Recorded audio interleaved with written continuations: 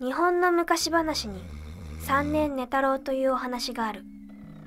寝太郎は3年間何もしないで寝続けた。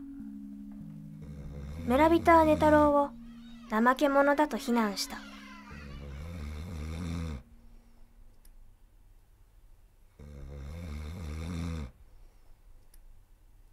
一日の平均睡眠時間が3時間ですから現代人は睡眠を取りすぎているのです。この怪しいセミナーに来てるのにはもちろん理由がある。父のことがあるからだ。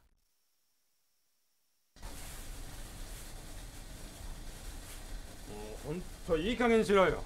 お前このままだとほんとクビになっちゃうよ。もう俺もあんまりなこれ以上かばいきれないよ。父の会社の渡辺さん。今日も父を説得しに来たこれでもう3度目だ。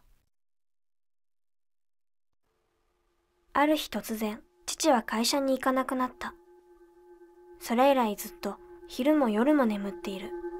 聞いてんのかよ？よしろおい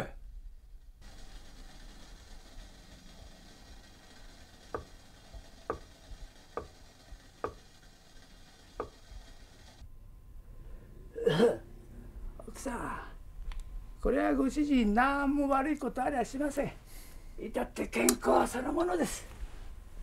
先生でも主人はどうしてこんなに寝るんでしょそりゃあわしゃ分かりません。ただね。お母さんはいろんな人から聞いたことを試してみた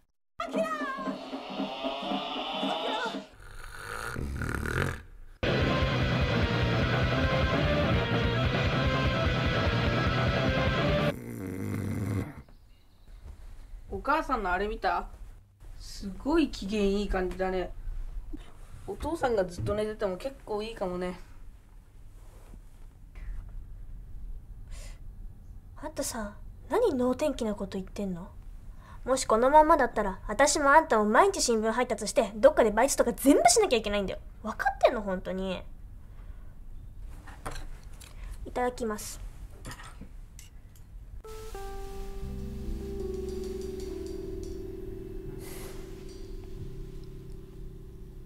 起きて。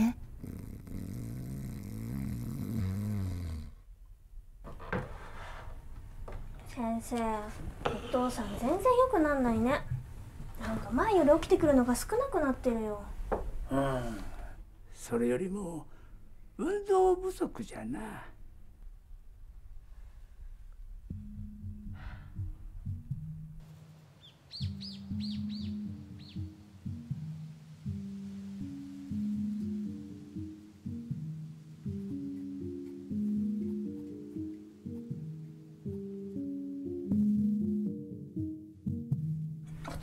I'm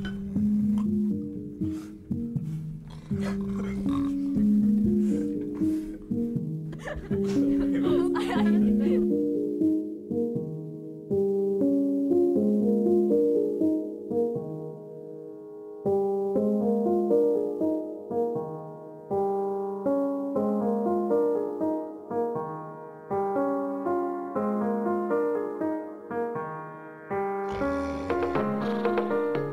ある日寝太郎は突然起き上がって崖の上から大きな岩を川めがけて落としたのだ。この岩が川の流れをせき止め田んぼに水を引いて村人は寝太郎に感謝した。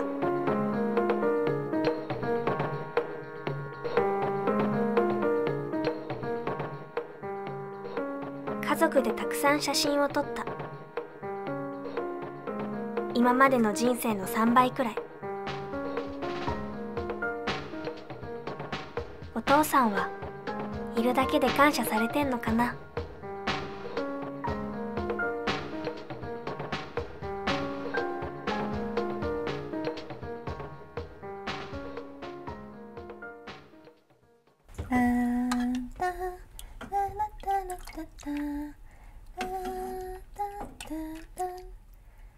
うちの寝太郎さん寝太郎さん